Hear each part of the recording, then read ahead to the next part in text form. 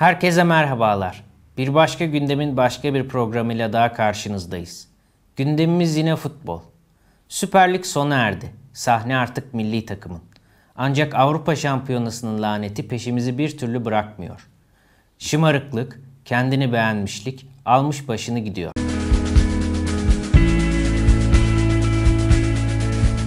Euro 2016'daki prim krizi ve referandumda vereceği evet oyu ile gündeme oturan Arda Turan, bu defa da uçakta bir gazeteciye saldırdı.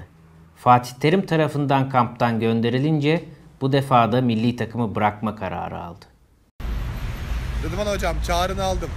Güçlü bir Türkiye için ben de varım. Burak Yılmaz sen de var mısın kardeşim? Sanırım Arda futboldan çok siyasete ve magazine katkıda bulunma derdinde.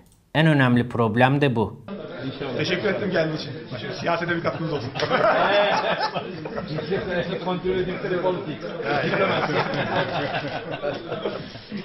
Futboluna diyecek sözümüz yok ama futboldan başka işler konusunda kararsızız.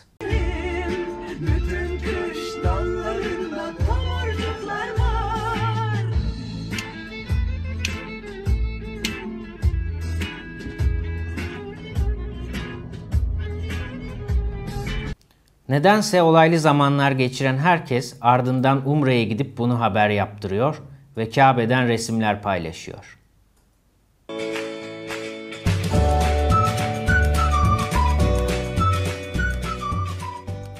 Açık konuşmak gerekir ki biz ilişkileriyle, kavgalarıyla, kaprisleriyle olay olan Barcelonalı Arda'yı değil, tesislerde çalışan malzemeciye araba alan, fakire fukaraya sahip çıkan Galatasaraylı Arda'yı istiyoruz.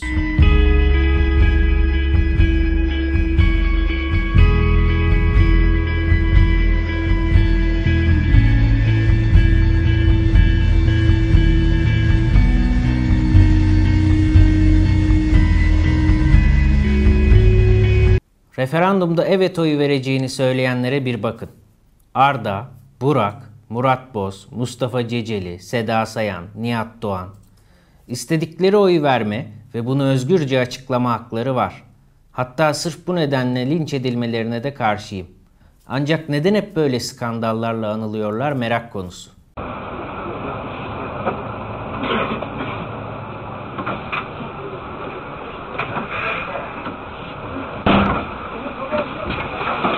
Ne var lan? Ne demek? Ne var lan artist? Ne var? Ne diyorsun sen lan? Bak abi. Ne diyorsun lan? Vurma, araba vurma lan. Araba vurma. Araba asabını bozma. Araba vurma.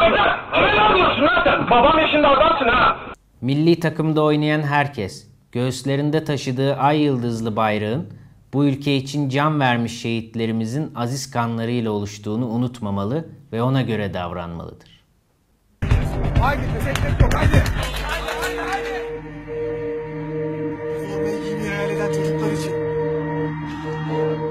Bugünlük bu kadar. Bir sonraki programda görüşmek üzere. Eğer programımızı takip ediyorsanız Kanal 3 ile abone olmayı ve videomuzu beğenmeyi unutmayın.